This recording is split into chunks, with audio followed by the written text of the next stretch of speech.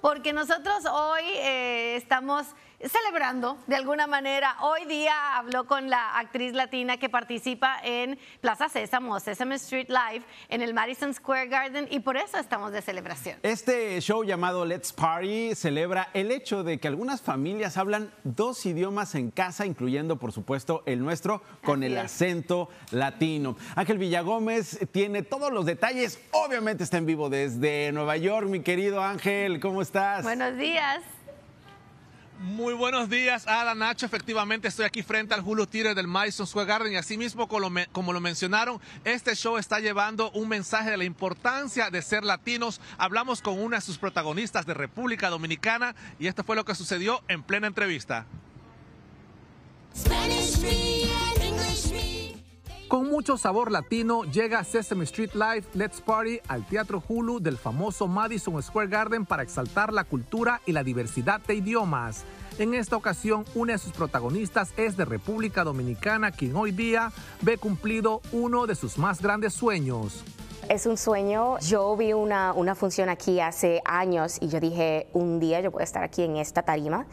Y ocurrió con este, con este show de Plaza Sésamo y para mí es un honor, pero también eh, es un orgullo poder traer la cultura latina En la actualidad, Juanita inspira a miles de niños, pero quisimos saber quién la inspiró a ella durante su adolescencia.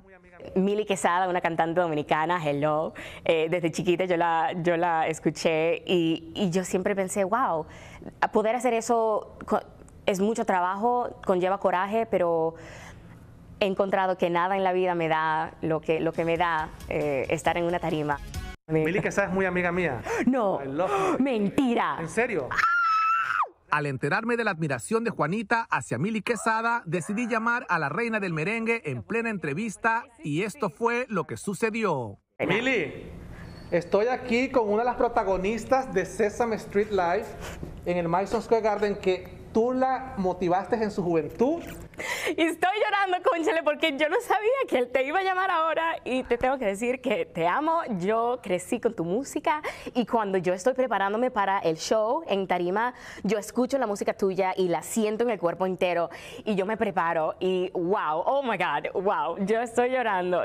Yo, wow. te bendiga, verdad que linda, Dios te bendiga, de verdad que Ay, te gracias. deseo, te auguro muchos éxitos, eh, persíguelos así como lo estás haciendo y de verdad Ay, gracias, Mili, gracias, Mili. Y le voy a decir a mami, espérate, que ella se va a volver loca. Esto es un sueño para mí. Gracias, Mili, gracias. ¿Qué canción de gracias. Mili te gusta? Ay, Dios mío, ahora, ahora yo, no, yo Solo ni puedo contigo. pensar solo contigo. Las horas pasan.